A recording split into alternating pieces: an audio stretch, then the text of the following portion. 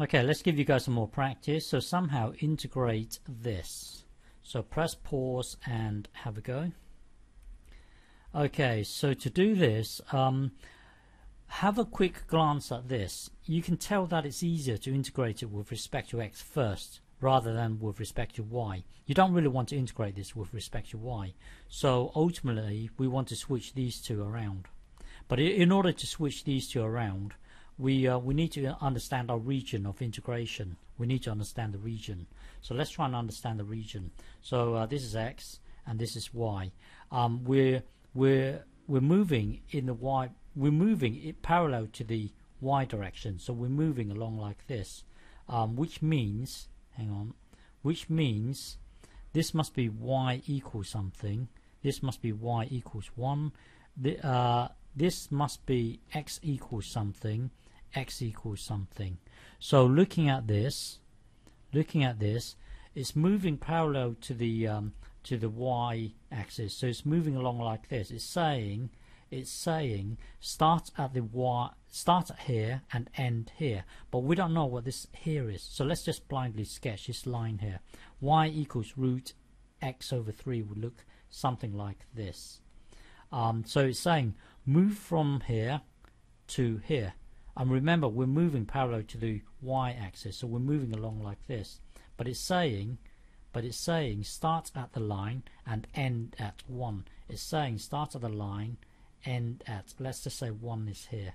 Uh, start at the line, end at 1. Start at the line, end at 1. Start at the line, end at 1. So start at the line, end at 1. So our region will look something like this.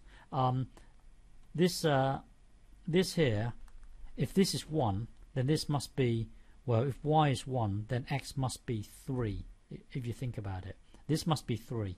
So, um, uh, and, and looking at the x, we're, we're scanning we're scanning from 0 to 3 because if you think about it we're moving along like this we're moving along like this we're scanning all the way through we're scanning all the way through from 0 to 3 from 0 to 3. So this is our region. We're interested in this region. Now we need to translate it. So rather than dy then dx, we want dx then dy. Well, dx dx would mean we need to move um, we need to move parallel to the x-axis, so we need to move along in this direction. We need to move in this direction. So we need to start here and end at the line. We need to start here and end at the line. Well, if we want to move in the x direction, because of this, it must be x equals something, x equals something. On the outer integral, on the outer integral, it means y equals something, y equals something. Well, we want to start, well, looking at this, in, in, um, in the dx, we're moving along the x-axis, so we need to start, we need to start here and here. We need to start at x equals 0 and end at the line we need to start at x equals 0 and end at the line. But what is this line here? Well, this line here is is uh, y equals root x over 3. But remember, it's got to be x equals something. So uh, rearrange it to make x a subject. So square both sides and then uh, times both sides by 3. That equals x. So so um so it's moving. So hang on, 3y squared. So let's let, let me just illustrate this bit here.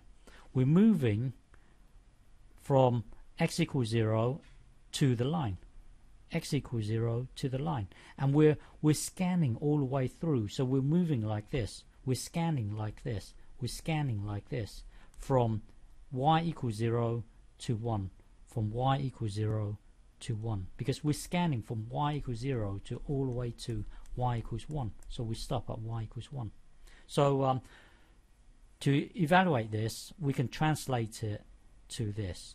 So we are currently at this stage here, which looks like this. Which looks like this. So we are currently at we are currently at this stage here, and uh, this is our region here. Okay, so um, so now it's just a matter of integrating this. So looking at this, um, we want to integrate it with respect to x. So that means that this whole block here is a constant. So when you integrate it, it would just give you this thing here. So this whole thing here is a constant, and then this is your x.